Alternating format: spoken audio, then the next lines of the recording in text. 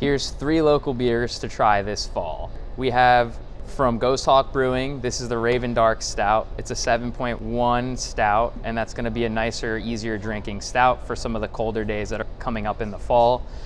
Here in the middle, I have from Seven Tribesmen. This is a Hefeweizen, and this is right around 5.5, 6% ABV. This is good for kind of like a nice hot day that's gonna cool down at the night. You can have this by a campfire. And then over here from Hoboken Brewing, we have the Cityside IPA, which is a nice hazy IPA, very juicy. Another one that's good for the, some of the warmer days that we're gonna have uh, leading into the cold days coming up.